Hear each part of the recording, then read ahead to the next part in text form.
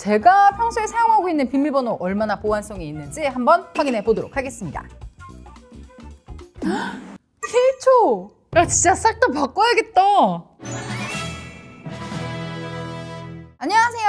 알고 있니의 김수현입니다. 자, 이름, 성별, 그리고 전화번호, 신용카드 같은 개인정보부터 게임 아이템, 그리고 가상 화폐까지 일상생활을 하다 보면요. 인터넷에 내 데이터가 막 알게 모르게 기록이 되기 때문에 계정 해킹은 치명적인 문제로 이어질 수가 있는데요. 해킹 사건이 뜰 때마다 아, 내 개인정보도 유출되면 어떡하지? 걱정되는 우리 젤리님들도 좀 많으실 것 같습니다. 그래서 오늘은요. 계정 해킹을 사전에 방지하고자 비밀번호와 관련된 이야기를 해드리려고 합니다. Wow, 구독 thank you. 여러분은 전 세계적으로 가장 많이 사용되는 비밀번호가 뭐라고 생각하시나요? 0000? 혹은 뭐 QWER? 정답은 바로 123456인데요. 비밀번호 관리업체 노드패스가 50개국을 대상으로 한 연례보고에 따르면 1, 2, 3, 4, 5, 6이 가장 많은 사람들이 쓰는 비밀번호 1위를 차지했다고 합니다. 또한 10위권 안에는요. QWERTY, 패스워드 그리고 11111도 있는데요. 솔직하게 말해서 누구나 한 번쯤은 이런 비밀번호 사용을 해 봤을 것 같긴 한데 이런 단순한 비밀번호는요. 1초 안에 해킹을 할 수가 있다고 하네요. 쉬운 비밀번호는 이뿐만 아닙니다. 구글에서 진행한 설문조사에 의하면 응답자의 59%가 비밀번호에 이름이나 생년월일과 같은 개인정보를 포함시켰다는 건데요. 거기에 덧붙여 반려동물이나 배우자 혹은 자녀의 이름을 포함시키기도 했다고 하죠. 예를 들면 수현, 혹은 뭐 메시를 넣어서 비밀번호를 만들었다는 건데요. 요즘에는 뭐만 하면 SNS에 다 업로드 하잖아요.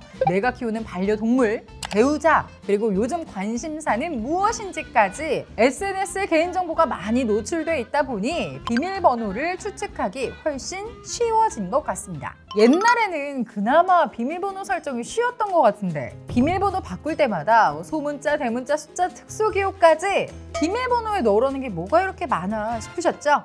사이버 보안업체 하이브 시스템에 따르면 소문자로만 구성된 4자에서 8자 비밀번호와 대소문자를 섞은 네자에서 여섯 자리 비밀번호, 심지어는 숫자, 대소문자, 특수기호 모두 사용한 네자리에서 여섯 자리의 비밀번호까지 즉시 알아낼 수가 있기 때문에 이 또한 위험성이 존재합니다. 여기에서 이상한 점이 하나 있지 않나요? 분명 숫자, 대소문자, 특수기호를 모두 사용하면 안전하다고 들었던 것 같은데 이렇게 쉽게 뚫린다고 싶으시죠? 사실 이 조합은 복잡한 배열을 통해 해킹하기 어렵게 만들기 위함이었는데 의도와는 다르게 문자가 너무 쉽게 배열되는 바람에 효과가 미미한 거죠. 예를 들자면 왼쪽처럼 복잡하게 조합해야 하는데 오른쪽처럼 단순히 조합할 경우 숫자와 특수 문자를 포함하더라도 너무 쉽게 뚫린다는 겁니다. 그렇다면 비밀번호를 어떻게 만들어야 해킹의 위험이 없는 안전한 방법이냐 궁금해하실 것 같은데요. 너무나 당연한 이야기지만 6자보다는 12자 비밀번호가 훨씬 안전하고요.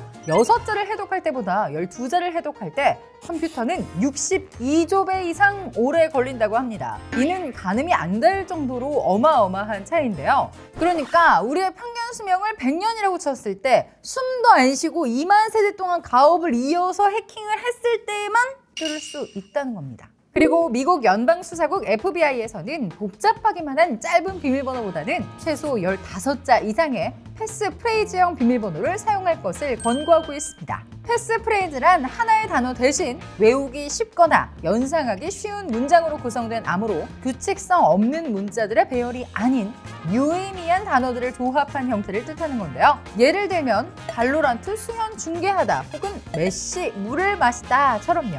이렇게 문구를 만드는 이유는 비밀번호의 길이가 길어질수록 해독하기 더 어려워지는 데다가 본인만의 단어 나열이라 문구가 길어도 쉽게 기억할 수 있다는 장점 때문이죠. 여기에서 더욱 안전성을 높이고 싶으시다면 관련 없는 여러 단어를 결합하여 하나의 문구를 만드는 것을 추천해 드립니다.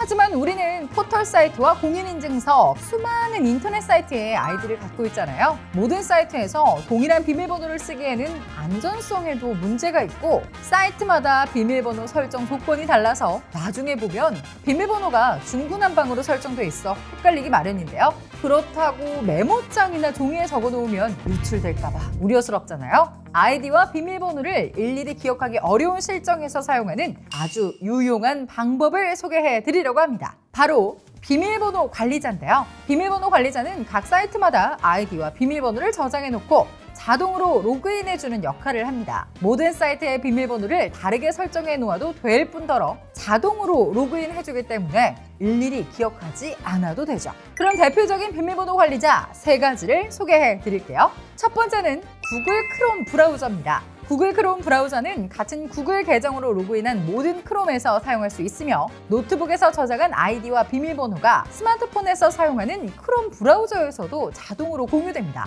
정말 편리하죠?